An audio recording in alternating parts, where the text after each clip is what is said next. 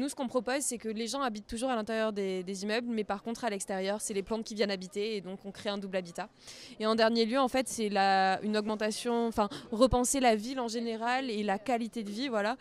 et euh, refaire venir en fait une nouvelle temporalité dans la ville et en fait, tout simplement, ouais, euh, créer des espaces qui sont agréables à vivre, où la ville, ben, elle est naturelle. Enfin, la ville est une prairie aussi à la fois et où, où il fait bon vivre. Ça nous a fait trop plaisir et on est vraiment très contente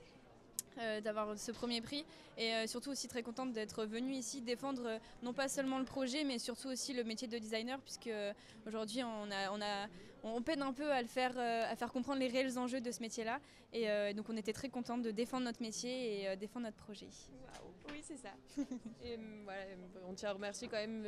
bah, la fondation Palladio et Agorize qui quand même bah, réalisent quelque chose de complet parce qu'au début bah, ils nous proposent du coup ce concours et jusqu'à la fin en fait on voit qu'ils ont envie, qu'ils sont intéressés